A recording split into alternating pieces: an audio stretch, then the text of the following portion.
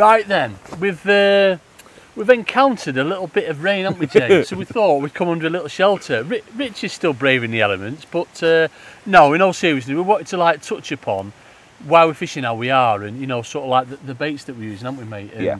You know, it's it's all good and well, sort of like feeling your way into a session, which is what we're doing, but it's ultimately we're trying to work out what the fish want, aren't we? Definitely. At this time of year, it's all about as well. What we want to put across is treading carefully, if anything, isn't it? Definitely. It's whether you're pleasure fishing in a match, whatever. It's all about looking for little signs or watching people around you to make sure you make the correct decisions at the right time, instead of just going for it. Definitely. Yeah. Uh, and I mean, uh, you're a massive believer in it, Jay, aren't you? Sort of like starting off your session, but looking around, and see what people are doing. Definitely. Um, I've, I've only started doing that. But I mean, I'm always looking around, and see what people are doing, but I won't do it to the extent that Jay does. He's like, he'll fish for a, few minutes, half an hour, what have you, you know, and he'll be looking around, seeing whoever's catching much, and then you're straight on it, aren't you? Yeah. Whereas I'm like, I'll start off fishing, how I want to fish, but uh, for today's purposes, as I said, I've, only started off with a little, that little tiny ball, and I want to see what the responses of the fish. It- It's likely that you know, obviously we're going into winter. It's still autumn, but the fish do want more feed than that. But you don't want to put it in because obviously once it's in, you can't take it out. Yeah, you often find it at this time of year it builds up as well, doesn't it? Yeah, In that there's there's very little feeding or little in the, uh, less than there is in summer, um, to begin with on, on on any line. So you're better off keeping your options limited with with minimal bait. It's always going to increase the competition between the fish Definitely. and give you a best chance of getting bites when there's maybe there's 10 fish feeding in your area. You can get them 10 competing. Yeah, absolutely. If you feed a load, You're that massive believer um, in sort of like if you put 20 pellets in, so 20 to one chance you're going to yeah, catch a fish. that, that's how I look at it. With, with bigger baits like that, that's how I have to look at it. Whereas I'm like, get it in, come on, more fish the better. No, I'm not really. There's always a method to my madness. Yeah, that has to be relevant to the, the type of fish as well, don't we? Definitely. So that the, the 20 to 1 sort of thing with, with pellets, which I, I do a lot, is for big fish. Big fish, That's yeah. for, for proper fish that eat small amounts of bait. With, with little fish, like, like we're doing today, where we're trying to cover everything, we'll get a lot of fish in the swim.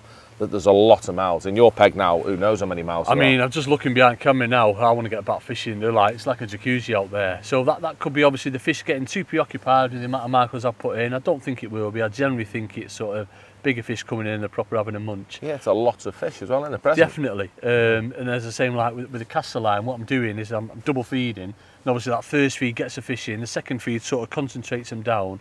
And it's just again finding out where they want to be in that water column. I won't know yet, I haven't had a chance to fish it, but when I get on it, I can't wait. And hopefully we'll, we'll snare some bigger fish out on that. But th- that's what it's all about, changing your hook baits as well. You know, I touched upon before, you know, trying a bit of corn or trying a bit bigger pellet. Uh, to start with, you don't want to be selective. That first sort of part of the match, it's important, Jay, is it? Getting, Yeah. getting it right uh, and making sure there's sort of fish there, then you can work things out, can't Definitely. The- For, for me, I don't know, let's have a talk about a, a standard session or a match. Yeah, So a, a match for us, it's what we're going to see 90% Yeah, of the time. But definitely. Mm. so we have the, the added advantage of watching people. But if we didn't have that, like we do in our coaching sessions when Yeah, we're on our own, yeah. then so for me, I, I'll always find that the best way, short at this time of year, is still good, isn't it? yeah, definitely. You're still going to catch a few short. And for me, like we just touched on, that's the line that tells me everything that's going to happen from there. It tells you how good it's going to be mm. with how many fish are feeding, whether there are fish feeding, Yeah, yeah, yeah. what type of fish are present in your peg. And it, it's generally a short, close six, seven, eight metre line. They're, they're almost the, the water that doesn't really matter. Mm. To me, it's a nice area that it doesn't matter if I mess it up. So by starting there, I can make my mistakes and still have a peg to come. Definitely, and you can work out through that session, through that short, you know, obviously session that you started on, where they want to be, you know, on the depths and that, can't you? Yeah. If you're not getting bites there, it means it might be a warmer day, so they're just going to Yeah, they don't want to be. Yeah, they don't want to be in that it's depth. a fantastic way, and that, that's what us as match anglers are always looking for, isn't it? Definitely. I think it's where pleasure anglers fall behind a bit in Definitely. that they don't make the most of the day because they come with a, uh, say some match anglers as well, they come with a preconceived idea of what they want to do. Yeah, And it, it's You- the wrong way to go, massively wrong. got to be adaptable, mate. Of course you do. The, the fish have to tell you what to do. And, Definitely. and they do. Yeah, they do. As long as you feed in the correct manner with the correct bait for the species you're fishing for. Yeah, I mean, it, may, it might sound daft like what we're talking. You know, the fish will tell you what to do. They don't come up to the top and say, "I want pellets today. I want some nuggets." It's all about working out. You know, whether you're getting liners, far lookers. Yes. If you're getting sort of like bites through the drop, if you know it's in bow waves. That, that's what we're on about, isn't it? Yeah, the, the impact that the way you're introducing feed has on the fish. Yeah.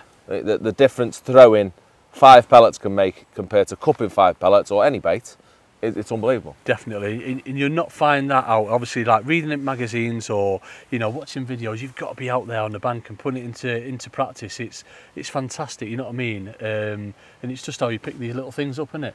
Little things you stick in, and that's it. You just go and put it into practice yourself. Yeah, It's awesome. I like that. We're going to go and do Um, some fishing in a bit. But before we do go back into fishing, so you're, you're going to go and fish your casters. Yes. Yeah. So I'm going to have a plate. I, I'm going to go through uh, feeder fishing next, a little bit of feeder fishing to that far bank. Right. Okay. Nice. But as mate. well as that, we're going to have a bit of a longer segment than normal. I want to talk about actually the, the options you've got and different ways of feeding any peg, whether it's a feeder, uh, a pole, whatever. Yeah. Whether it's margin, whatever we do. And at this time, how good it can be having positive and negative options. I think it's what you've done yourself, and you, you, you cast as a mega positive, Definitely.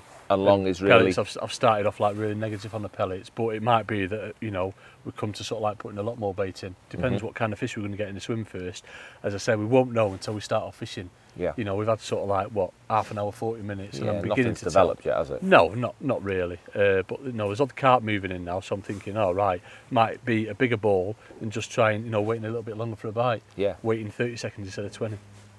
But that, that's it. And obviously, yeah, the likes of you with your feeder, you know, you can experiment with pinging bait over the top. That's a massive one, isn't it? Exactly that. Introducing them. Obviously, you're not grouping them, but you're getting that initial pile of feed in. Yeah, but you- you've got so much water as well that you can still do both.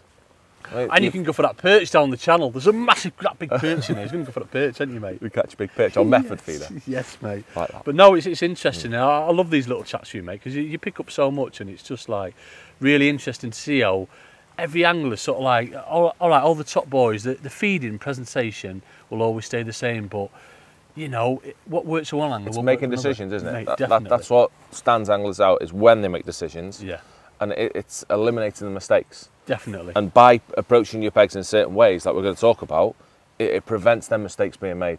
all I do is just ring him up saying, "Jay, what's going on here?" and they put me right, and that's it. I win the match.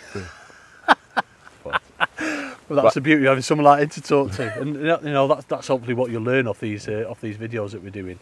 Um, you know, as I said, fishing's so diverse. We fish completely different, but all right, he's better. You know, he has better results. But you know, it's it's just one of them things. I love targeting everything.